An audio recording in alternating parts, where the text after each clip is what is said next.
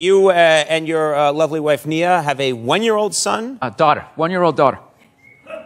No, it's all right. It's all right. It's all right. What are you supposed to memorize? What everybody has? No, I have one guy whose job it is to tell me if it's a son or a daughter, and he's right there. Oh, he's squirming behind the. There Uh... he is, yeah. Pretty much. JP, you said I had a son. I thought we were friends. Yeah. Anyway, not that I really rely on these things, but It's just no. Bill, uh, you have a one-year-old daughter. Yes, I do. I'm just curious. Take two. You- what's that? I said take two. No, no, no. We're going to keep all of that in. I want people at home to know just how things are around here.